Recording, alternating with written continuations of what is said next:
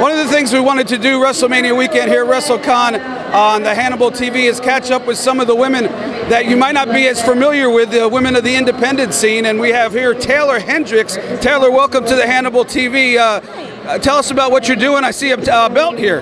Yes, I am currently the Queens of Combat Tag Team Champion with fellow Tag Team Champion partner Chelsea Green. We are Dishonorable Impact, representing Ring of Honor and Impact Wrestling. That's awesome. Tell us the fans about how you got in the business. Oh man, I wasn't allowed to watch wrestling as a child, so that kind of piqued my interest. And so I, when the parents tell you you can't do something, it makes them want to do it. That's true. Kinda, yeah. I wish I would have known that before my kids were in their 20s. It's probably a lesson you should have learned early on. Uh, but I loved it. It was everything I ever wanted for my life. I always wanted to be an actress. I was always a huge athlete in school, big jock. I always wanted to travel the world, and I love performing in front of people.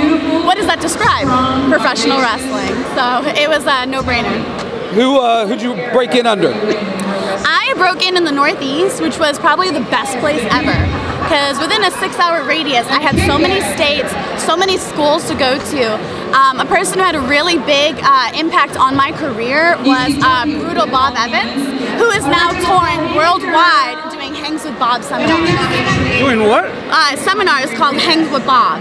Oh, okay. Yeah, and uh, Ohio Valley Wrestling really broke me in and really taught me what it meant to be on television. So you work with Rip Rogers and yes, Rip Rogers and Danny Davis, and now I am with High Spot. So I literally get the best of everything. It's awesome. You've done a lot. How long have you been in the business? I have been wrestling since I was 17 years old, so I've actually been wrestling for 10 years. A lot of people don't know that. Over 10 years. You don't look 27, but you just gave it away. Thank you. So I'm not ashamed of it. So I feel really blessed. I get to do everything I've ever wanted for my life. So. Okay, if the fans want to learn more about you, where could they go? Um, I say you can follow me on Twitter at Taeler underscore Hendrix, as well as my Instagram at Taeler Hendrix ROH, and use hashtag All Things Taeler to keep up on all my nonprofit, every appearance I'm going on, and all the companies that I am working with in and outside of the business. Well, thank you with your time, Taeler Hendrix. She's living the dream her parents dreaded.